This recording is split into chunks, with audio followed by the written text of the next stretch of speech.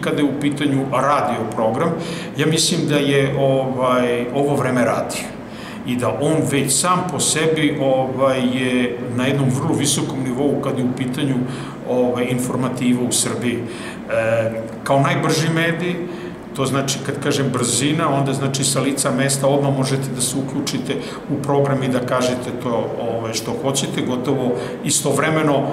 na nekoliko trenutaka posle jel da nekog, nekog dešavanja ili događaja ili u, do, u toku samoga događaja. Mislim da ta brzina ovaj, je e,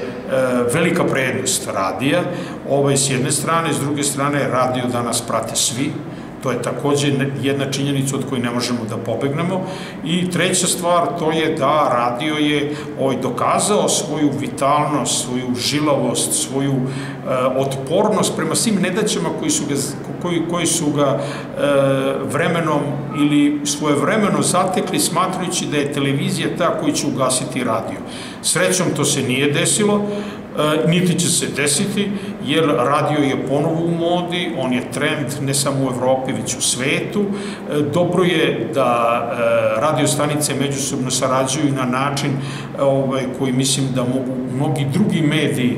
da uzmu kao modalitet ovaj, saradnje s jedne strane, a s druge strane ta jedna zajednica kao što je upravo RAB ovaj, udruženje, odnosno RAB e, Srbije, e, kao udružene radiostanice sa toliko članova, to je jedna snaga na koju se mora računati i velika je šansa radija u e, periodu koji nas e, očekuje i